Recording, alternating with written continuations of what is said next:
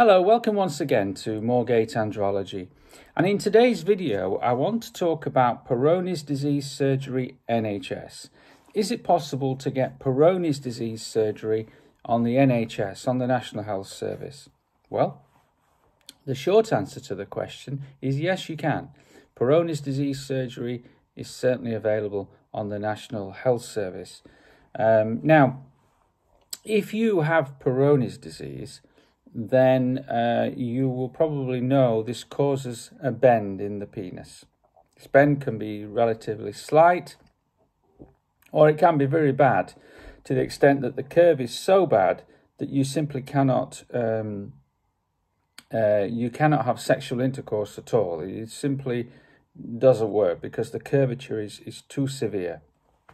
Now, the, the disease itself uh, goes through what's called an acute phase and a chronic phase.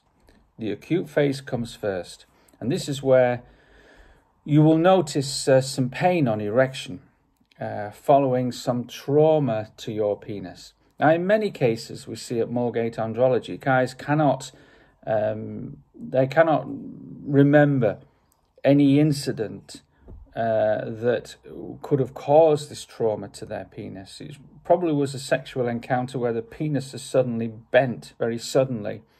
Uh, but many guys can't remember. A few can. They, they can remember an incident uh, when the penis was suddenly bent. Maybe they heard a popping or a cracking. But in most cases, guys can't. But whatever, it's caused by this trauma to your penis. Now, when you go through the acute phase, you will notice that um, that on erection, you you you will have some pain and some discomfort, and uh, this is followed by this bending of the penis, which you will only see when the penis is erect. When the penis is flaccid, you won't uh, you won't see it at all. But on on on erection, uh, when the when this uh, you know the, the penis is, is stretched on erection, you will see this curvature. Now, when the when you first go to the NHS, they may give you some medication, some erectile dysfunction medication, such as tadalafil, and uh, they may give you a pump, and they may want to see you and monitor you during this acute phase. Um, and then eventually, after about a year, when things have settled down, uh, you know, maybe you don't have the pain now so much, if at all, and this curvature has not particularly got much worse in about the last three months before, they will consider you for surgery. Now, the surgery, surgery that's offered on the NHS is something called um, the Nesbit procedure. The Nesbit procedure. And this procedure will straighten your penis.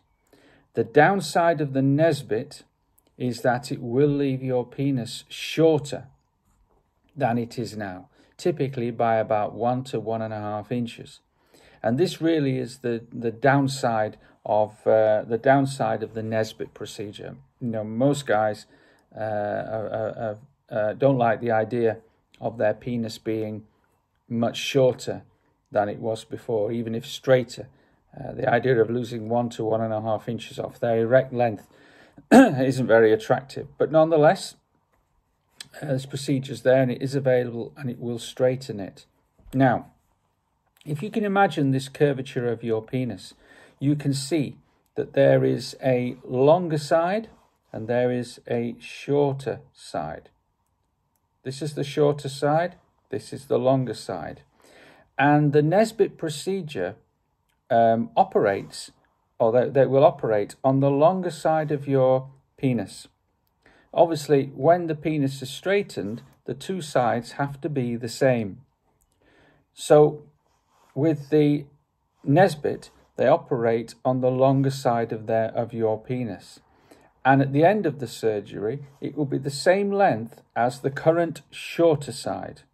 So if you look at the curvature of your penis now, if you if you have Peyronie's disease, if you look at the shorter side, this is how your penis will be after the surgery because they operate on the longer side.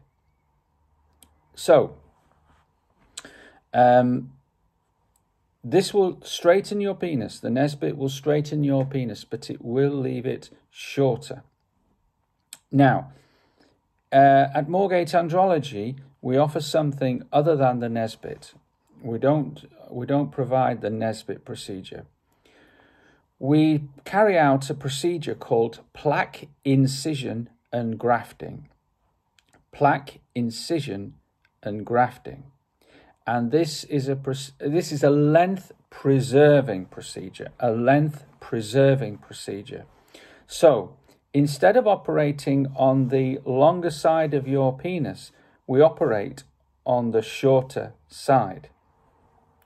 Incisions are made within the plaque and the penis is straightened.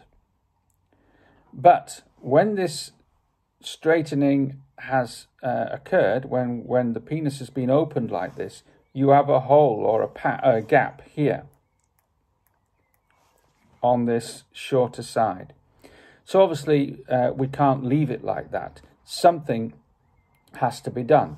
And in that hole, in that patch, uh, in that um, hole, we put a patch or a graft that acts as a scaffold for new collagen and new tissue to grow within this hole.